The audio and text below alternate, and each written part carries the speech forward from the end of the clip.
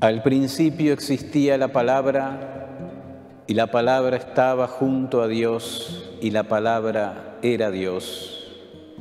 Al principio estaba junto a Dios.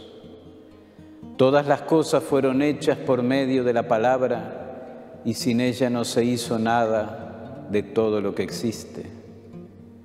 En ella estaba la vida y la vida era la luz de los hombres. La luz brilla en las tinieblas y las tinieblas no la percibieron. Apareció un hombre enviado por Dios que se llamaba Juan. Vino como testigo para dar testimonio de la luz, para que todos creyeran por medio de él. Él no era la luz, sino el testigo de la luz. La palabra era la luz verdadera que al venir a este mundo ilumina a todo hombre. Ella estaba en el mundo y el mundo fue hecho por medio de ella y el mundo no la conoció. Vino a los suyos y los suyos no la recibieron. Pero a todos los que la recibieron, a los que creen en su nombre, les dio el poder de llegar a ser hijos de Dios. Ellos no nacieron de la sangre, ni por obra de la carne, ni de la voluntad del hombre, sino que fueron engendrados por Dios. Y la palabra se hizo carne y acampó entre nosotros. Y nosotros hemos visto su gloria, la gloria que recibe del Padre como Hijo único lleno de gracia y de verdad. Juan da testimonio de él al declarar, este es aquel del que yo dije, el que viene después de mí me ha precedido porque existía antes que yo. De su plenitud todos nosotros hemos participado y hemos recibido gracia sobre gracia porque la ley fue dada por medio de Moisés, pero la gracia y la verdad nos han llegado por Jesucristo. Nadie ha visto jamás a Dios. El que lo ha revelado es el Dios Hijo único que está en el seno del Padre. Palabra del Señor. Queridos hermanos en nuestro Señor Jesucristo, 31 de diciembre, fin final del año. ¿Realmente es el final? ¿Qué tan distinto es este día de los otros días? Para muchas personas, este día y esta noche no se diferencia mucho de los demás días ni de las demás noches.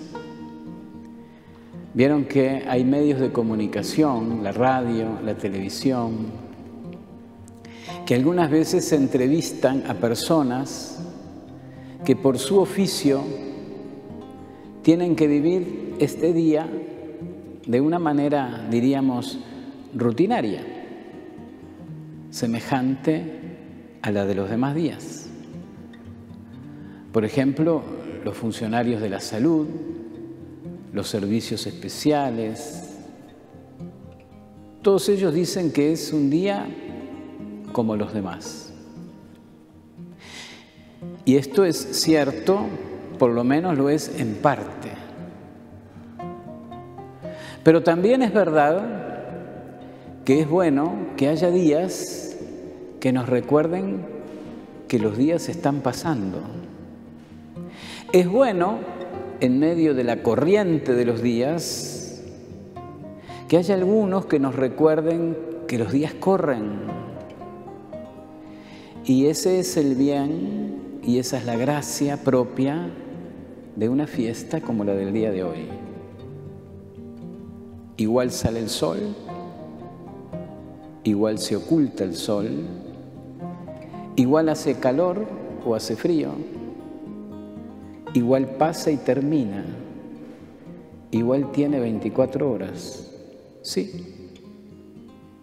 Pero aquellas convenciones que son partes del ser humano, en la medida en que pertenece a una sociedad, nos ayudan a recordar, nos ayudan a pensar, nos ayudan a meditar. Y estos son verbos que podríamos decir cuánto sirven para la vida humana. Pensar, pensar que la vida pasa, ese es un pensamiento muy saludable. Saber que no somos infinitos, ese es otro pensamiento saludable. Saber que llegará un día último para cada uno de nosotros, ese es un pensamiento saludable. Y por nombrar un último pensamiento saludable recordar a aquellas personas que hace un año estaban con nosotros y ya no están. Eso también le hace mucho bien al corazón.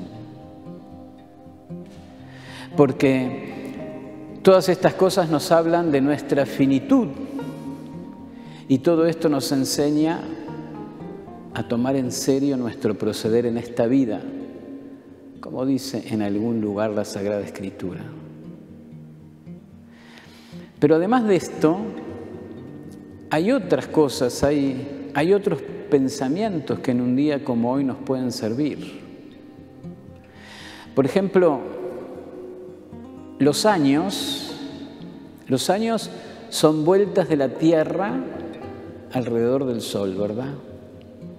La palabra año en latín significa precisamente eso, un círculo, una vuelta. Es decir, que nuestro querido planeta le ha dado otra vuelta al Sol. Y de aquí de pronto nosotros podríamos construir alguna enseñanza para nosotros hoy, porque fíjense, la Tierra da vuelta sobre sí misma y, de ahí resultan los días. De ese modo, mientras la Tierra da vuelta sobre sí misma, el Sol, ¿qué es lo que hace? Recorre todas las regiones de la Tierra. Pero cuando es la Tierra la que da vueltas alrededor del Sol, es decir, en el proceso de los años, es la Tierra la que recorre, por así decirlo, todos los aspectos, todas las fases del Sol. Y esto es muy hermoso porque estos dos movimientos tendrían que darse en el corazón humano. Lo mismo que la Tierra, también yo, cada uno de nosotros, tengo que acostumbrarme a mostrarle a Dios mostrarle todas las fases de mi vida, todas las áreas, todas las regiones, todos los continentes y las cordilleras, los valles y las llanuras. Cada uno de nosotros como que nos podríamos comparar de alguna manera con este planeta. ¿Quién en la vida no tiene sus desiertos? ¿Quién en la vida no tiene montañas de entusiasmo? ¿Quién en la vida no tiene abismos a veces de tristeza o de depresión. Nosotros como que somos como el planeta. Y ese planeta, en el paso de los días, tiene que acostumbrarse a mostrarse ante Dios, para que Dios, como, como el sol, ilumine, ilumine todo lo que yo soy. Esos son los días. Pero en el año lo que hace la Tierra es darle la vuelta al Sol. Es ella la que recorre al Sol, la que le da vuelta y eso también lo puede aplicar el cristiano. No solo es bueno y saludable que Dios me conozca en todas mis regiones, sino que yo mismo he de empeñarme en darle vueltas a Él. Y también yo en el año poder recorrer los misterios de Dios.